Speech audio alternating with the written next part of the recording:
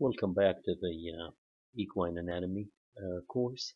Uh, again, we started talking about the anatomy of the equine head, and uh, we uh, talked first about some certain um, external features on the on the equine skull.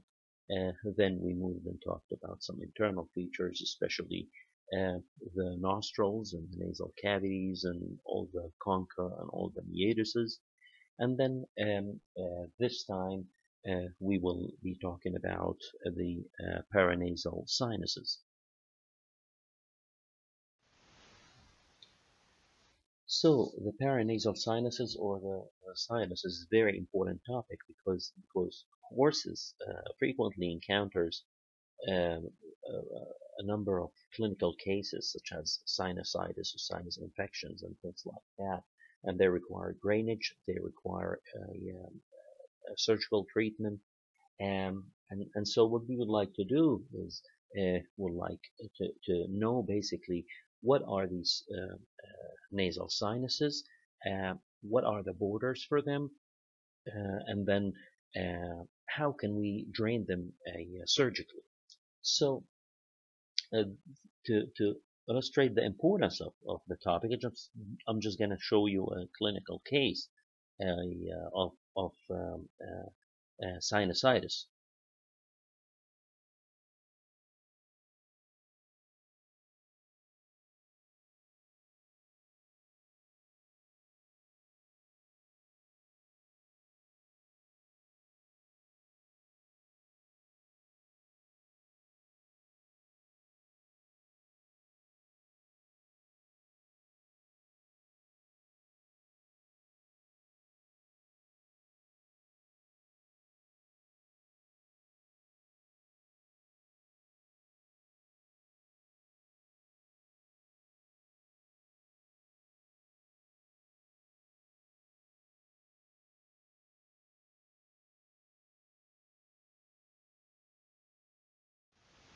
So, uh, paranasal sinuses are gas-filled cavities between the internal and external plates of the flat bones that uh, comprise the uh, skull, and they are considered diverticula of the nasal cavity lined by ciliated glandular epithelium, um, and they have unique uh, relation with the nasal concha. All of this, I'm going to talk about it in a second, and their main function is well, they have two main functions. One is to reduce the weight of the skull, and the second one is to provide spaces for a teeth to expand and to grow. So two main functions for uh, these gas-filled cavities that are located between the internal and the external um, uh, plates of the um, of the flat bones of the skull. Um, the first function is that they reduce the weight of the skull, of course, because they are filled with air. And the second thing is because they expand uh, or they provide spaces for teeth to grow and to uh, to expand. So, so this is the definition of, of the sinuses. What are, what are the sinuses that we have? We have uh, three sets of, of nasal sinuses. We have the conchofrontal sinus, we have the maxillary sinus, and we have the sphenopalatine sinus. In addition to their actual structure, they also have relation with the nasal concha, which I will discuss in in in few minutes. So let's see where these sinuses are located. This slide shows two views uh, of the equine head. One is a dorsal view to the left of the picture, and one is a lateral view, is the right of the picture. And the large blue component in the dorsal view is called the concho frontal sinus, the large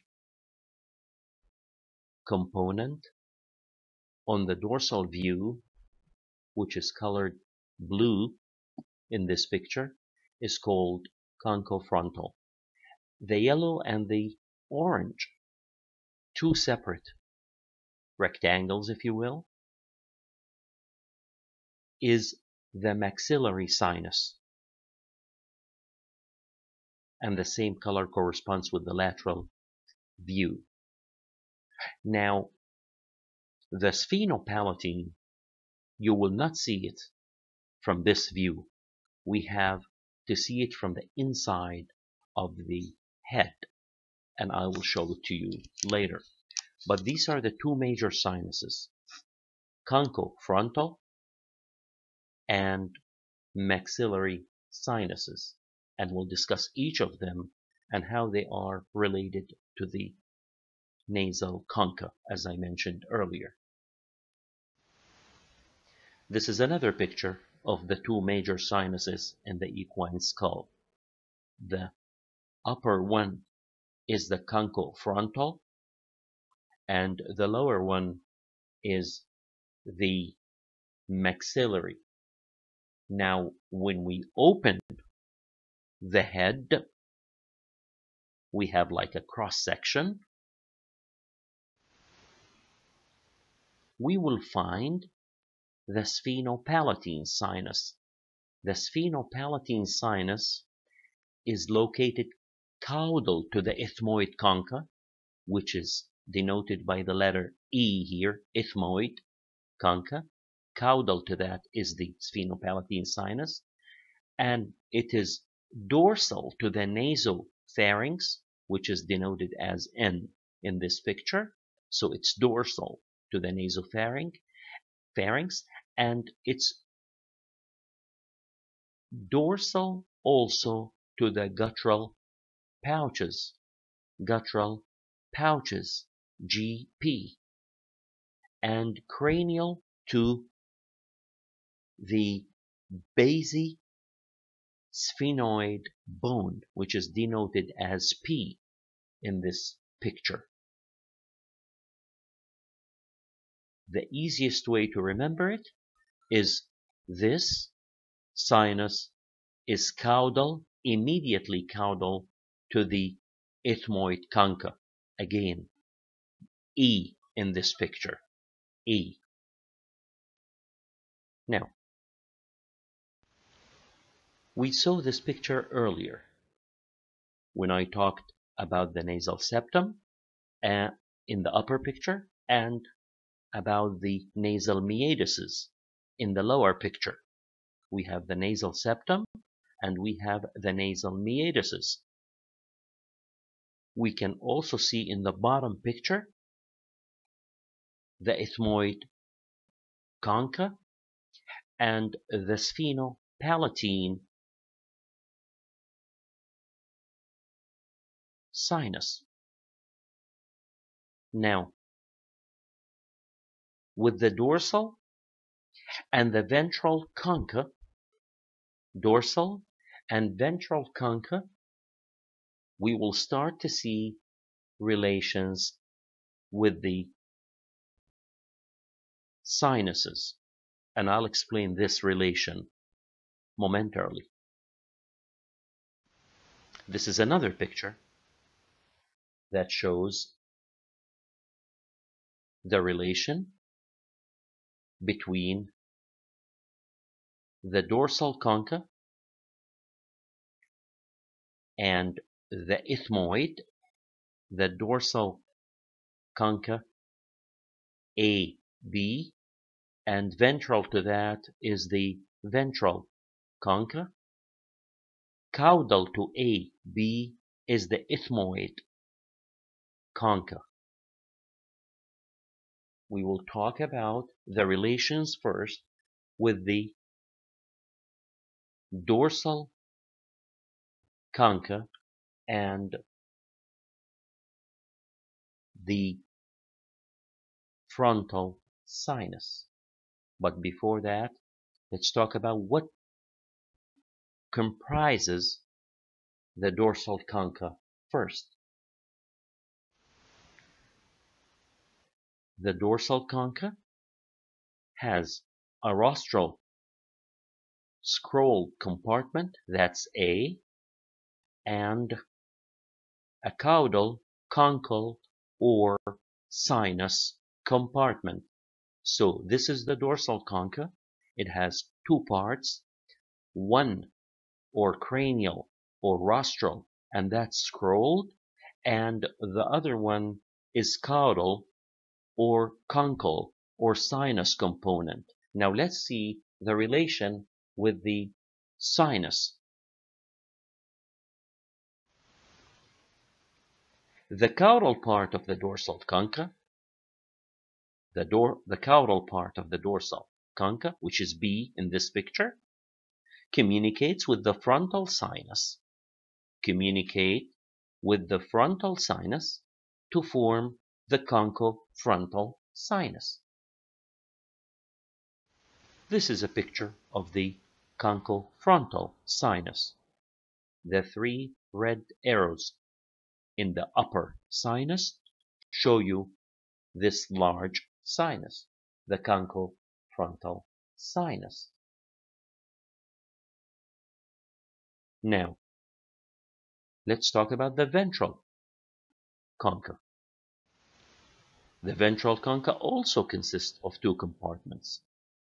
From A to A prime is the rostral part, which is a scrolled part, just like A in the dorsal concha, and then a caudal concha or sinus compartment, which we will call B. Now, what's the relation of this concha with the sinus? The caudal part of the ventral concha, which is B in this case, communicates with the rostral maxillary sinus over the infraorbital canal. Again, the caudal portion of the ventral concha, which is B in this case, communicates with the rostral maxillary sinus. So, the caudal part of the dorsal concha communicates with the frontal sinus. That's why it's called conchofrontal.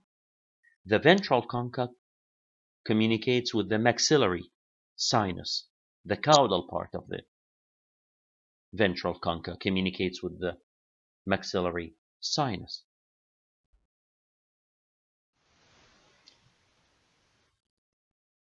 Now, the conchofrontal and the maxillary communicate together through the frontal maxillary opening. It's a large opening. It's a large opening. A in this picture. A in this picture.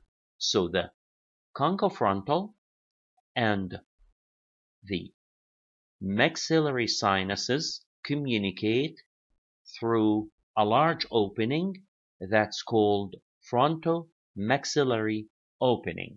Fronto-maxillary opening. I have a little diagram to show you how the communications take place. This is a cartoon that shows the communication between the sinuses and the concha. The caudal part of the dorsal concha in the upper part of the picture communicates with the frontal sinus. The caudal part, the caudal portion of the dorsal concha communicates with the frontal sinus. That's why the name conchofrontal sinus came. Now, the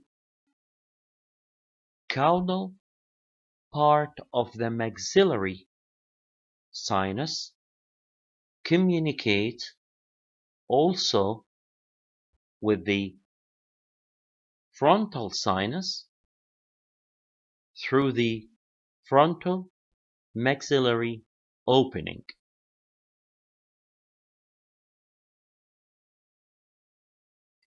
Thirdly, the sphenopalatine, the sphenopalatine sinus communicates with the caudal portion of the maxillary sinus. This is the third communication. The fourth communication is between the caudal portion of the ventral concha and the rostral portion of the maxillary sinus. I will repeat. There are four communications between the sinuses and the conchas. Number one, the caudal portion of the dorsal concha communicates with the frontal sinus. That's where the name conchofrontal sinus came from. The second communication is between the frontal sinus, or the conchofrontal sinus, if you will, and the caudal portion of the maxillary sinus.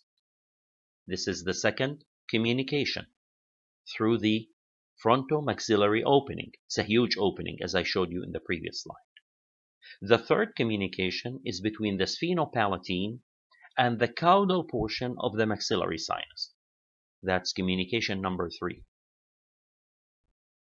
The fourth and the last communication occurs between the caudal portion of the ventral concha and the rostral portion of the maxillary sinus. Four communications. Caudal part of dorsal concha with the frontal sinus, frontal sinus with the caudal portion of the maxillary, sphenopalatine with the caudal portion of the maxillary, caudal portion of the ventral concha with the rostral portion of the maxillary. These are the communications with all of the sinuses and the conchas the rostral part communicates with the maxillary sinus. The rostral part communicates with the ventral concha over the infraorbital canal.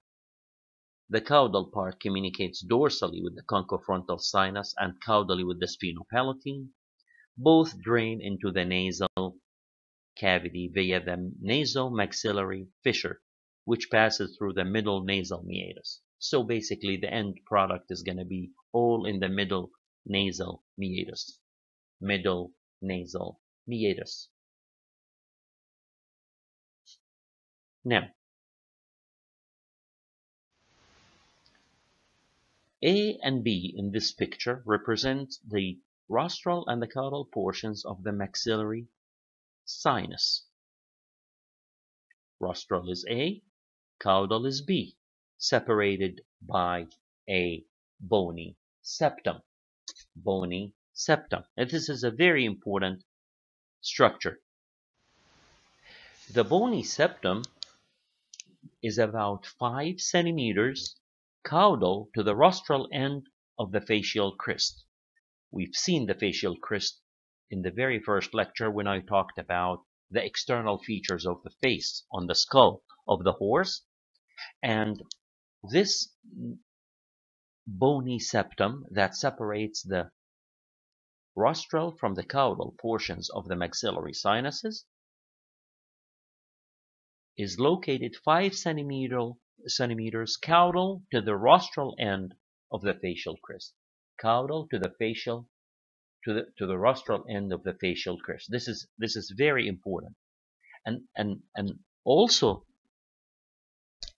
it's important to remember the landmarks for the maxillary sinus, the borders of the maxillary sinus. Cranially, a line connecting the rostral end of the facial crest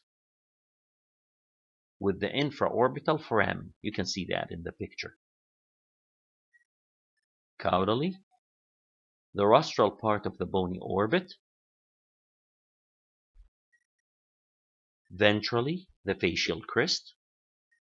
And dorsally, a line connecting the infraorbital foramen with the medial canthus of the eye. Very important.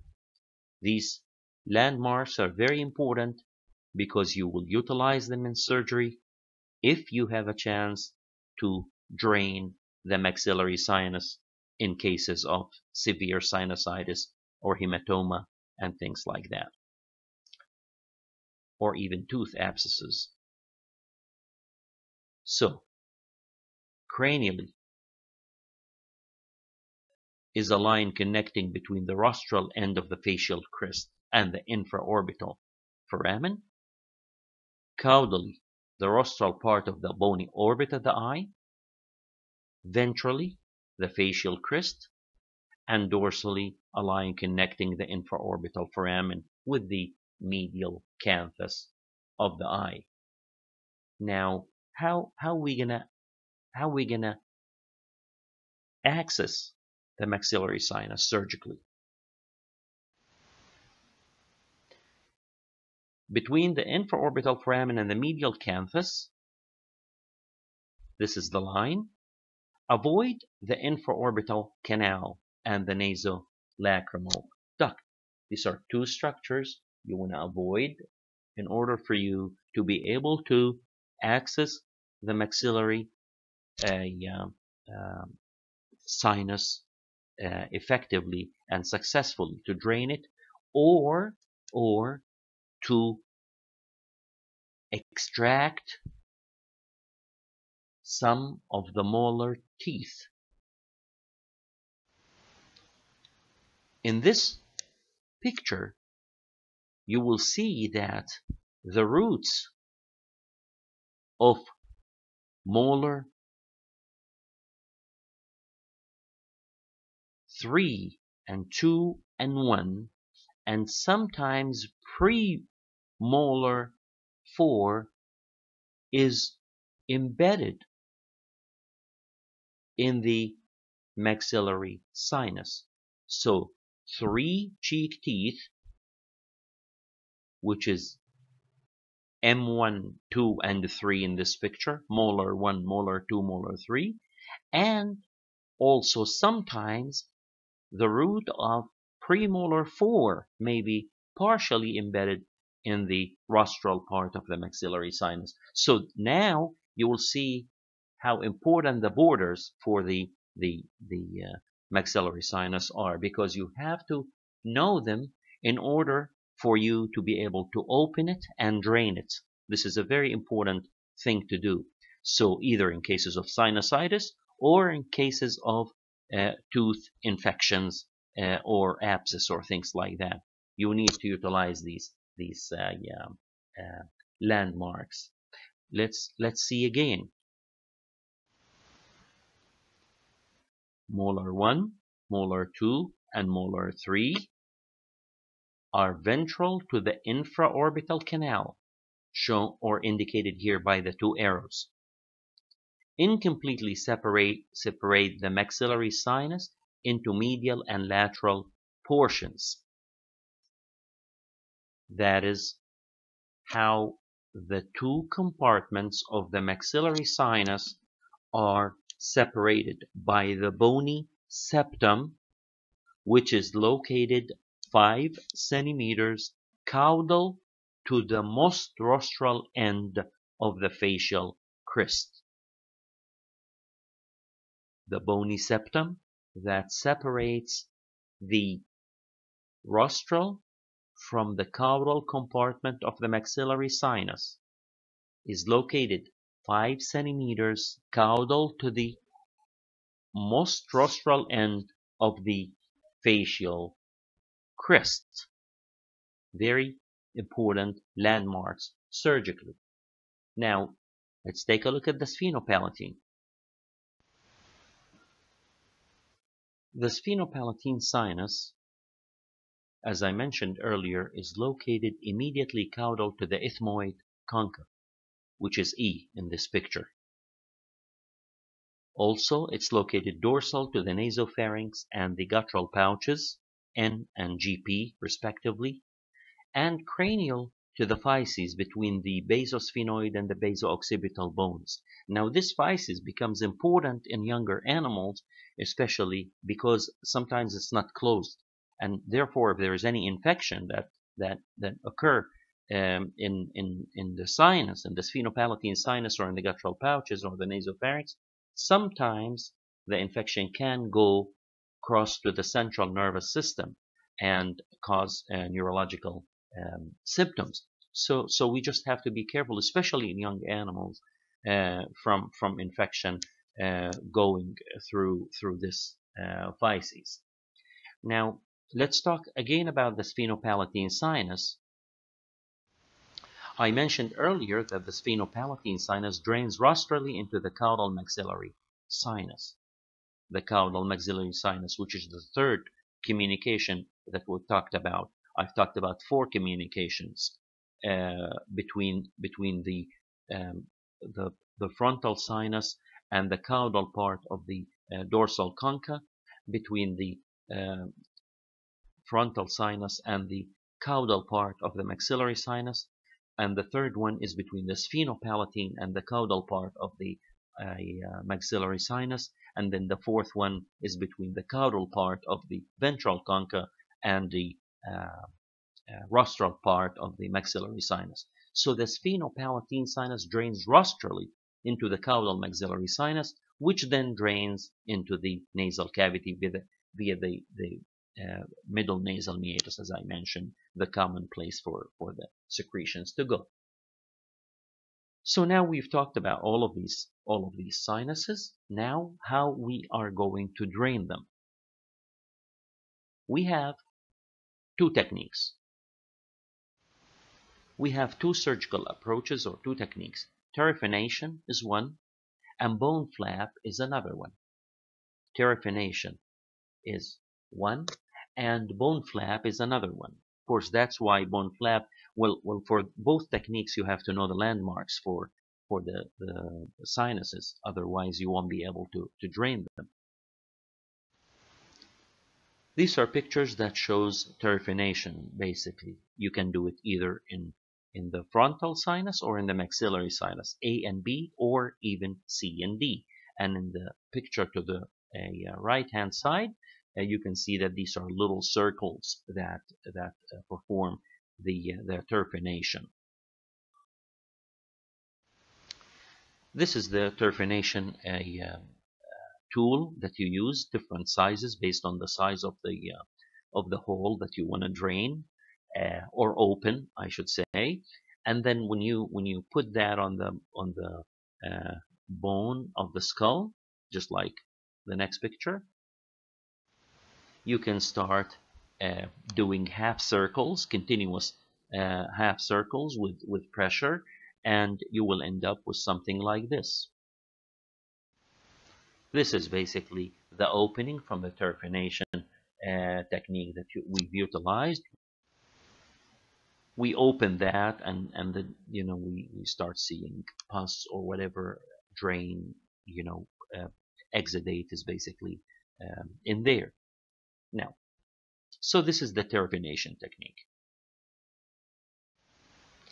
bone flap is uh, basically creating a flap of the bone cutting the bone from three sides and keeping the fourth side intact what you do is based on the landmarks that we've talked about. Uh, we we open this in the either the frontal sinus or the maxillary sinus. We open them and we drain the sinuses, either the maxillary or the conchofrontal. This is a picture showing uh, uh, uh draining the uh, the maxillary sinus uh, with with a with a bone flap and here we can see when we uh, take out that um, bone flap uh, the type of exudate that might be appearing uh, you know, in, in the surgical field. So this is something that we need to drain and take out, uh, basically. This is another another picture showing a, a, a very uh, big trephination, um, how they opened and and uh, or or uh, a bone flap technique that you remove the the bone and um, uh, clean all the the exudate from the maxillary sinus and then in the in the picture to the right hand side you see how the surgeon basically after after draining the sinus and everything uh, put the bone uh, flap back in and he sutured the skin and the bone will will, will heal uh, uh basically uh, on its own uh, after that. So so so this is th these are the two techniques that are common to use to to drain the the um, sinuses um, and sometimes we can utilize them also to um, again to extract teeth especially molar teeth uh, through the uh, uh, frontomaxillary opening, basically. Um, now, with with with this discussion, we we we finished the um, the the nasal sinuses. Um, the next section I will be talking about um, another special structure in the in the equine head, and the, those are the guttural pouches. So until until next time.